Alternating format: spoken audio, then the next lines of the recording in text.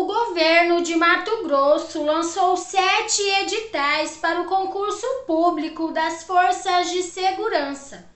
O certame contemplará 11 diferentes cargos destinados à Polícia Militar, Corpo de Bombeiros Militar, Polícia Judiciária Civil e Politec. As inscrições começam no dia 12 e seguem até o dia 24 de janeiro, com valor de 130 reais. Todas as vagas exigem ensino superior completo e serão para cadastro de reserva. No entanto, o governador anunciou que pretende nomear 1.200 novos servidores em 2022. As provas serão realizadas no dia 20 de fevereiro nos municípios de Cuiabá, Várzea Grande, Rondonópolis, Sinop e Barra do Garças.